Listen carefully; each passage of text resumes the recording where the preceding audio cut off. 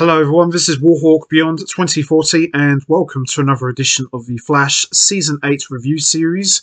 And today I am going to be talking about Episode 8, The Fire Next Time, which I have just finished watching.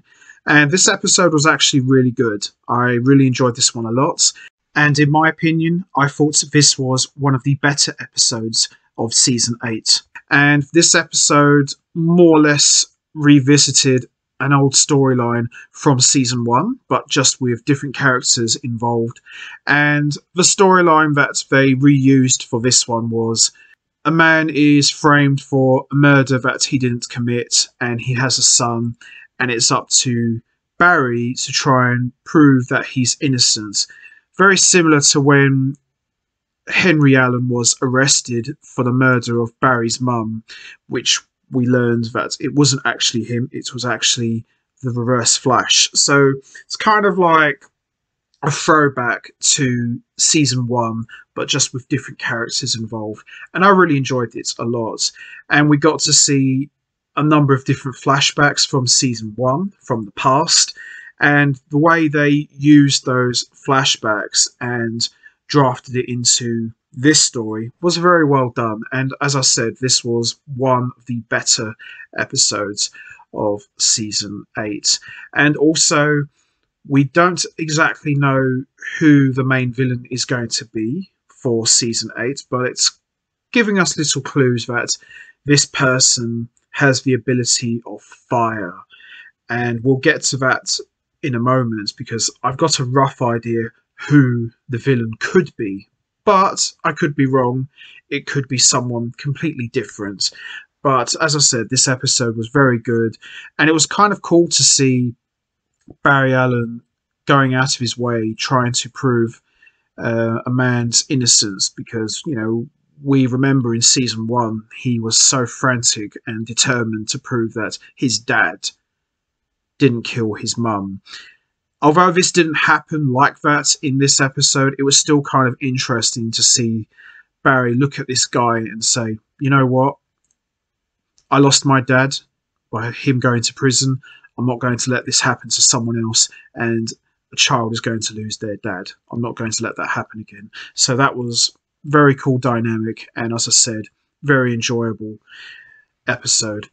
So, with that all said, let's get straight into it. Let's talk about episode 8 The Fire next time. So, this episode starts off at a bar where we see one of the employees locks up for the night and starts to leave.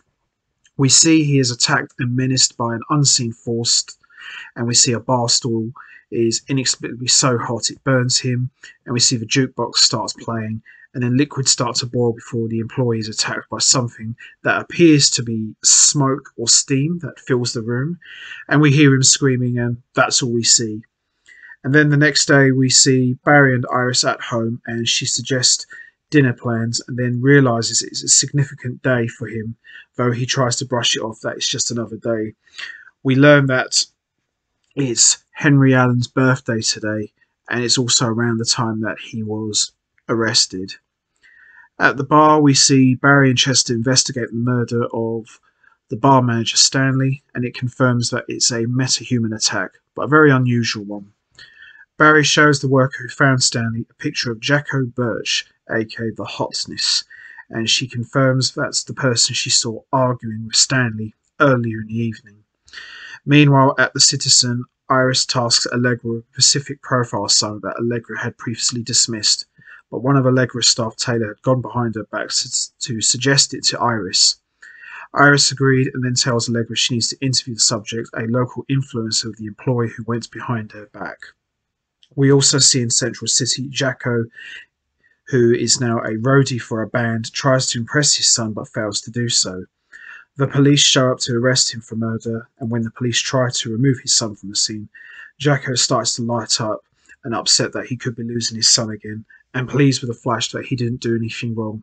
Just at this moment, he was about to set the police on fire. We also see Barry has flashbacks to the night his own dad was arrested for the murder of his mum, which turned out not to be true, obviously. And then in Cecile's office, Barry gets advice from her and is very unsure that Jacko did commit the crime. There's no hard evidence that Jacko committed the crime, and Barry still isn't convinced. He thinks something is wrong and asks Cecile to meet with him to read his emotions, but she says she can't cross that ethical line. Fair enough. Allegra and Taylor interview the influencer Rosie, and Allegra is very much not into it and resentful of just being there. She soon leaves the table to speak with a Jitters employee she knew in prison. However, the employee Lydia is resentful of Allegra's success while she has been struggling with low pay, minimal jobs. No one will hire Lydia because of her criminal record, and Allegra says she wants to help her by sharing her story with the world. Meanwhile, at prison, Cecile meets with Jack, who is very worried about his son, and he explains that he got his life together and got out of prison for good behaviour. He explains that he fought with Stanley because Stanley stiffed him half the purchase on a guitar he was selling so he could buy his son's tickets to the concert. He says he went home after the argument and insists he did not kill Stanley. Cecile later tells that Jacko doesn't have much for a defense, but her gut tells her that he believes he is innocent. Moments later, they're informed that Jacko has escaped custody, and Barry immediately goes to confront the witness. Team Flash are also unsure that Jacko is incident, innocent and tries to sway Barry that escaping jail doesn't look good for him. They hit a hit for a fire outside the bar, and Flash and Killer Frost head there. They find the witness burned to a char of ash, Ugh. but Frost notes that the fire doesn't respond to her cold powers.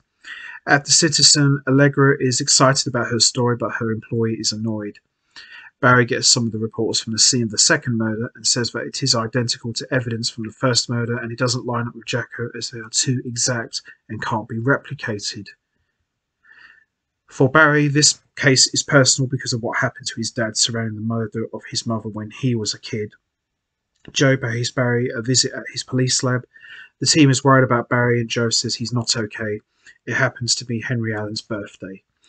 Barry tells Joe that the hotness had the same look in his eye that his father did the night he was arrested for a murder he didn't commit, and believes that the hotness didn't kill anyone. Joe says that maybe Barry's seen things that others can't because of what he went through, and tells him not to give up on it just yet. Just then, Barry gets a message that Chester found something. At the Citizen, Allegra gives Iris her story and she likes the story, but she's not happy Allegra wrote something other than the Rosie story. Because Allegra didn't help Taylor with the Rosie story, Taylor's story isn't that great. Iris tells Allegra she's trying to teach her how to be a supervisor and mentor, and Allegra didn't do that. She tells Allegra that she has to fix things with Taylor, at Star Labs, Chester and Frost tell Barry he was right. The fire from the crimes are cold fusion, and therefore Jacko is innocent because his powers are very different. Now it's a race against time to clear his name before he does something stupid. So we see Jacko confronts the transport taking his son to foster care again, and Harold confronts his dad, and Jacko agrees with his son. He is a loser, and all he wanted to do was get his life together. He says that he no longer cares what happens because they will always think he's a killer. Flash shows up and stops him from doing something stupid and tells him they found in, in evidence proving his innocence, but he has to stop so no one can get hurt. While they're standing there, the ground starts to shake. It turns out Jacko's powers are connected to the earth below, wherever he's standing, and he's causing a freak volcano. The Flash has very limited time to stop it, and Jacko will have to use his abilities to absorb the heat after the Flash gives him a pep talk. The two of them work together as Flash goes underground to release the pressure by getting the water table into the magma, and Jacko absorbs the heat. The day is saved, and thanks to Jacko's heroic act, impresses his son and ultimately wins him over. Nice. Jacko gets full custody of his son, so he and his son get a second chance. Allegra goes to talk to Taylor, who is snide and annoyed at what Allegra did. Taylor insults Allegra for her prison experience and then tells Allegra that she plans to destroy her. Yeah, I didn't really care for these scenes. If we had cut out the um, citizen scenes with Iris and Allegra, I think this episode would have been even more higher, but this was still very, very good, in my opinion. At the West House, everyone reminisces about Henry Allen in honour of his birthday. And as the episode is starting to be brought to a close, we see Team Flash tries to figure out who the real killer is, and they use the data to try and find more victims just in case they're dealing with a metahuman serial killer. And that's how we end episode 8, and that wraps up my review. Aside from the Iris and Allegra citizen scenes, this episode was actually really good. I quite enjoyed this one a lot, and as I said before, this was one of the better episodes of season 8, and I'm really looking forward to seeing how this is going to progress and who the main villain could be. I think the main villain, this person who's going around turning people into ash with the ability of fire, I think it could be Ronnie, aka Firestorm. Now, a lot of you are thinking, well, hang on a minute. Didn't Ronnie die after sacrificing himself? True, that was before. But thanks to Crisis and now all of the Earths are in one singular form, in one universe, there is a possibility that we could see a Ronnie going around vaporizing people with his fire ability. How many other villains, or how many other people for that matter, do you know have the power of heat, except maybe Heat Wave? But Heat Wave uses more of a flamethrower. He doesn't actually have special fire powers. So I think it could possibly be Firestorm aka Ronnie, but a more evil version. But time will tell, really. But overall, I thought this was a very good episode, and I like the way that they used an old storyline from season one, but just switched it around a bit. But this time, Barry is trying to prove the innocence of another person. Very well done. So that's going to be it for me. I am going to wrap this up now. What was your thoughts on episode 8? Did you enjoy it? What did you think of Barry trying to prove the innocence of another person being framed for murder? Did you enjoy it? And did you like the way that they used flashbacks from season one into this story? And also, who do you think this meta serial killer could be? Is it possible it could be Ronnie, aka Firestorm? Or do you think it's someone we haven't seen before? You know what to do, guys. Hit the like button, hit the subscribe button, leave your thoughts and comments down below, and I will see all of you next time for another edition of the Flash Season 8 review series, where I am going to be talking about Episode 9, which I am very much looking forward to seeing and talking about, especially with the way this whole episode played out and with the way this one ended. Should be a good one, and let's just wait and see what happens. So, until next time, Take care, everybody, and stay safe. And once again, as always, much appreciated. Thanks for listening.